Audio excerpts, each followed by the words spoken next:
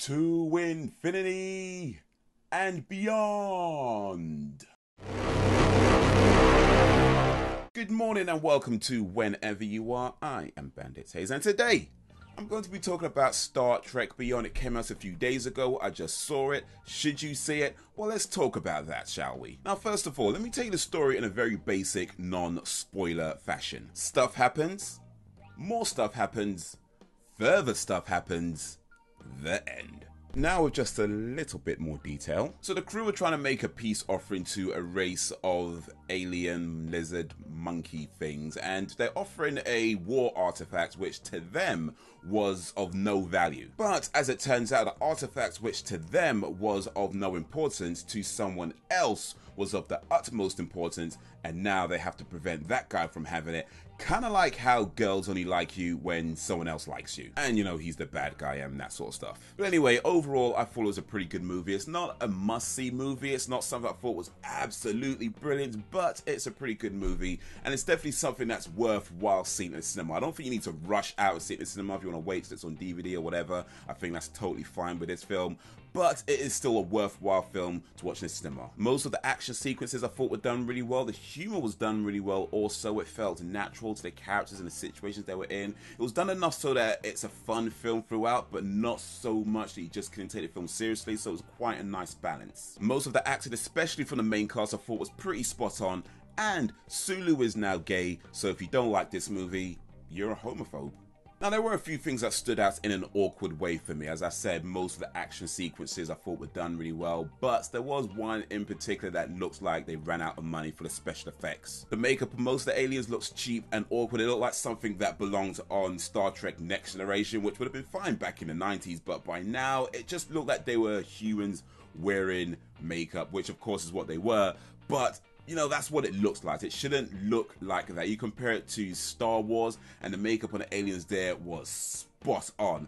This, however, it just looked, hmm, but perhaps the biggest disappointment is the fact that this film is directed by Justin Lin, and at no point is there any illegal spaceship racing. To be fair, they do have a pretty cool chase scene, but there's no close ups of anybody doing gear shifts, so it's like, what was the point? But anyway, let's talk a little bit now about gay Sulu, because that caused a little bit of a brouhaha over the last few weeks. So it was announced a little while ago that in this Star Trek, Sulu will be revealed as a gay character, to which George Takei, who plays Sulu in the original series and is gay in real life, said, Oh no, you didn't. To which co writer Simon Pegg replied, Oh yes, we did. Now here's the thing when it comes to making these major changes to pre established characters, whether that's sexual orientation, race, ethnicity, gender, or key character traits, I would always prefer that they make new characters rather than change the old characters because I think that has a much better long term outcome. Now, that being said, I'm not totally against the idea of changing older characters. There are times where it works really well, where they could bring something really new and cool and interesting to the role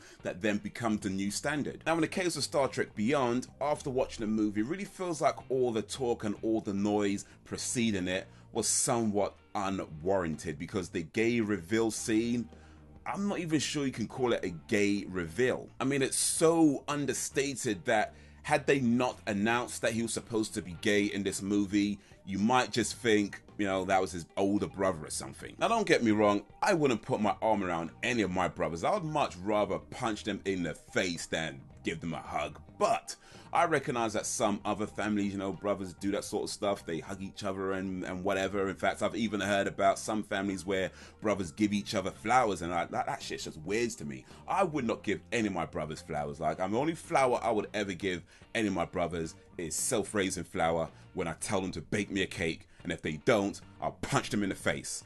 That's my family. But other normal families do that sort of stuff. So what I'm saying is that had they not said it was supposed to be a gay reveal, you might think they're just related. Now, to be fair, I'm not a long time Star Trek fan and I'm not a homosexual, so this change was never going to mean that much to me anyway. But I could certainly understand why long-time fans might be a little bit upset by this because it's a change, a major change to a character that you've grown up with and isn't really that necessary. And the arguments for the change really seem kind of weak because a lot of it was done to honor George Takei, and he's the main guy saying, I don't want it.